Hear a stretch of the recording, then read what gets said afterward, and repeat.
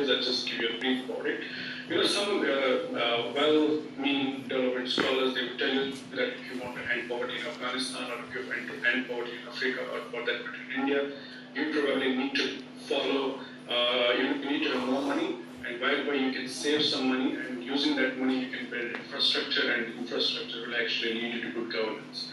But then the question is, you know, where from these poor countries get the money? And the answer they usually give is that, you know, these advanced economies, they can probably uh, give aid to poor countries and using that aid money, these poor countries can build their universities, they can build their infrastructure, and by building infrastructure, probably they can have good governance, and this good governance can lead to economic development. This is one thesis.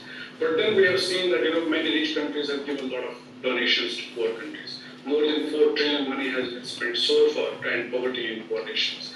But as a result, you know, uh, we have more poor countries than we had in 1960. As human civilization itself, man, humans have been tinkering with tools, uh, you know, starting from the time when they were actually, when they started exploring the planet.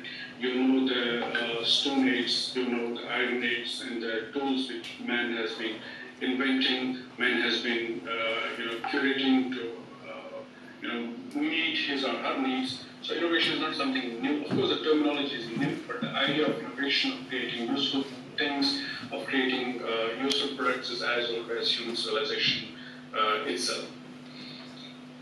Then the other question which uh, uh, when I give my lecture to mostly African and uh, Asian uh, universities, one question which I'm being regularly asked is that, you know, we don't have money, so we won't be able to innovate.